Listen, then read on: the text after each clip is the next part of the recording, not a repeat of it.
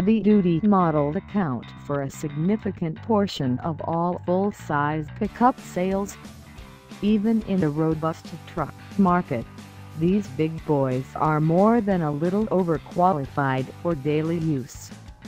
So-called lifestyle buyers may have played a significant role in growing the pickup market, but it's hard to perceive the heavy-duty variety as suitable for all-around family duty.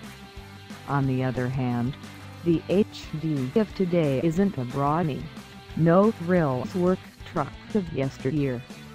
Luxury has filtered up to these big bruisers, and if their massive capabilities mitigate against enlisting one as the primary family vehicle for those who don't frequently haul marble slabs or loads of cast iron lawn statuary, there's that intangible image.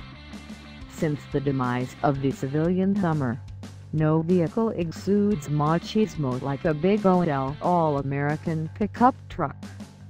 The Ram 2500 HD is an excellent example.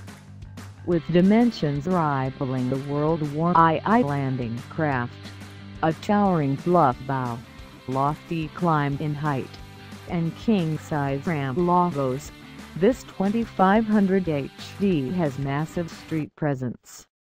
If casting shadows over the neighbor's house doesn't suffice to intimidate, add the potent baritone throb